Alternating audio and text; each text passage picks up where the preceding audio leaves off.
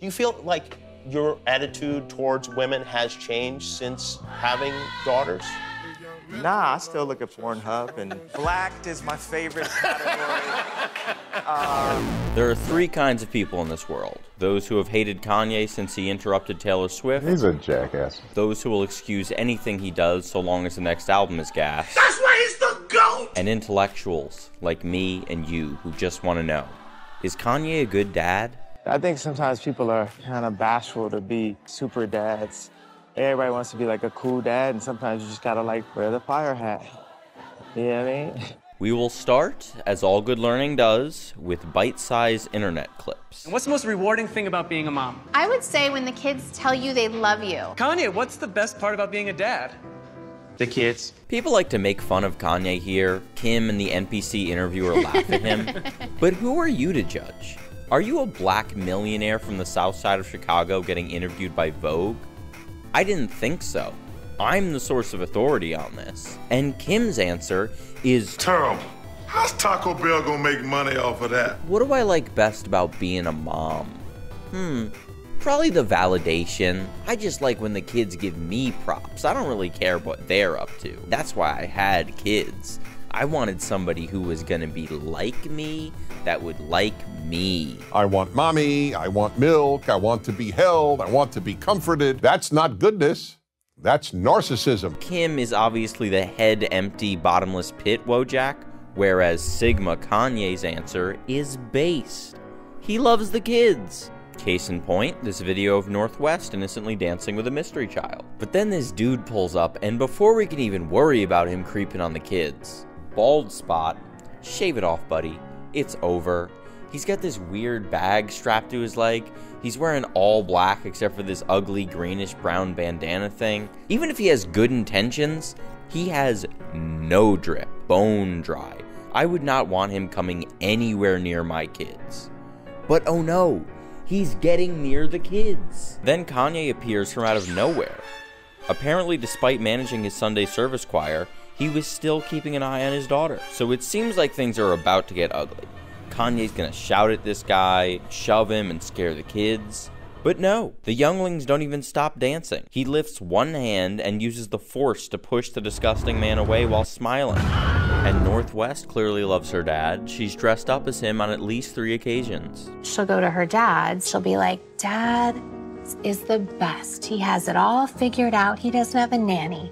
He doesn't have a chef. He doesn't have security. But what does Kanye have to say about his kids? Let's look at the music. Niggas is savage. Niggas is monsters. Niggas is pimps. Niggas is players. To niggas had daughters. Yes, I know Kanye didn't write the lyrics to Violent Crimes, but he recorded it. He put it on a self titled album. I think he kind of liked the sentiment. And there's a little bit of nuance to the sentiment. He's not just protective to the maximal degree, he recognizes that being overly protective would drive his children away from his protection. Also, he recognizes the hypocrisy of him feeling this way about his daughters, considering how he's treated women in the past. Put my fist in, I like a civil rights sign. I do like to advocate for the devil, though, so we could probably throw out this whole song as evidence, considering in it he says, Now I see women as something to nurture, not something to conquer. But when served the softball interview question of, Do you see women differently now that you've had daughters? He swings a, Nah, I still look at Pornhub.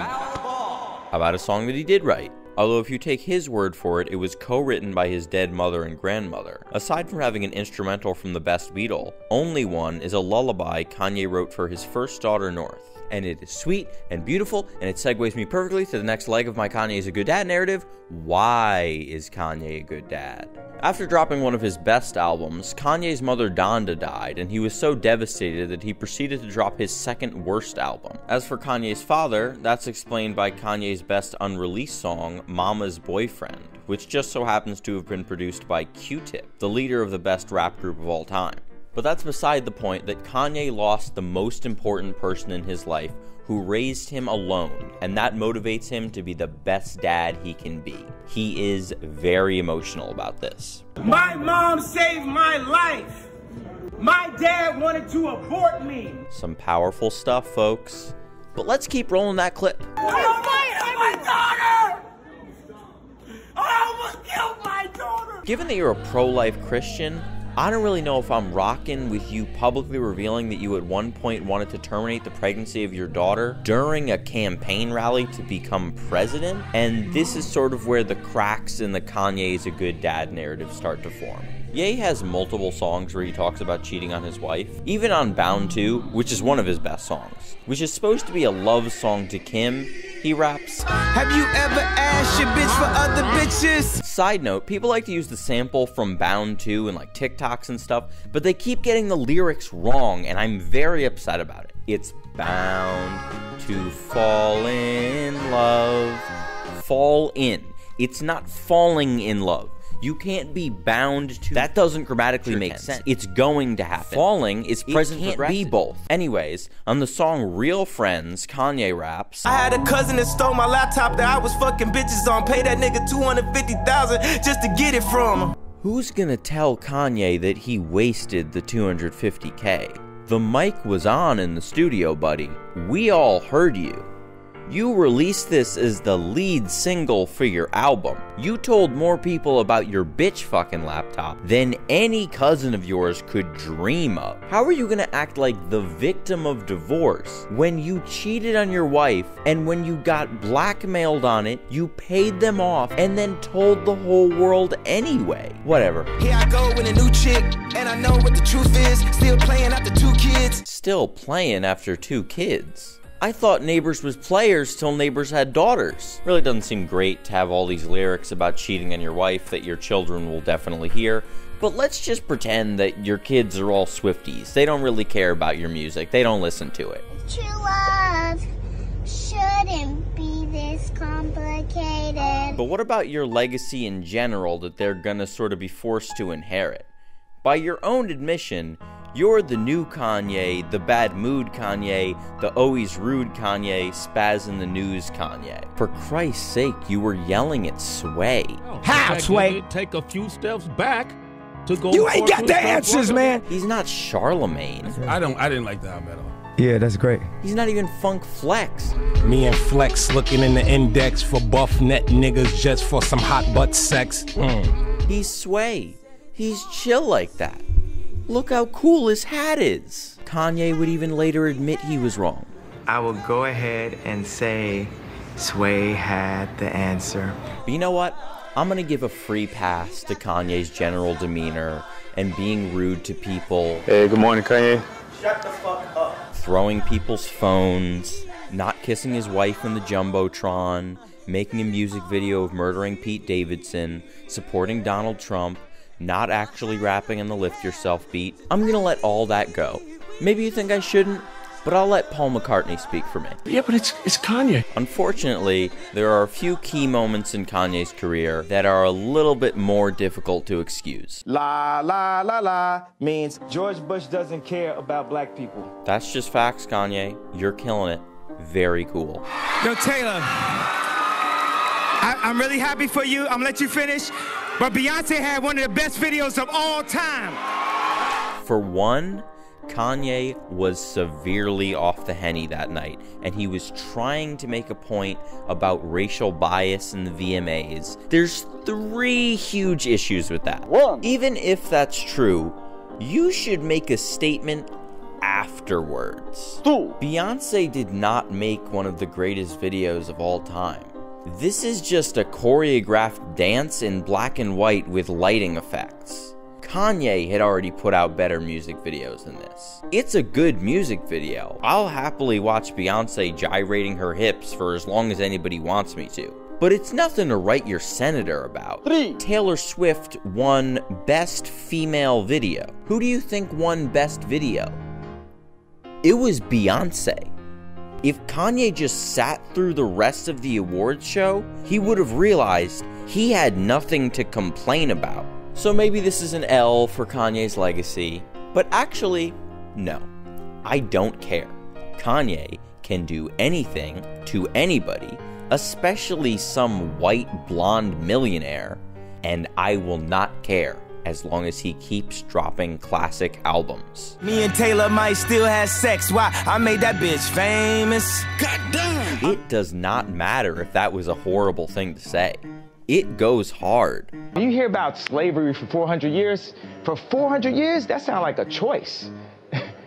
like, you was there for 400 years and it's all of y'all? If you're incredibly charitable here, he's kinda not wrong.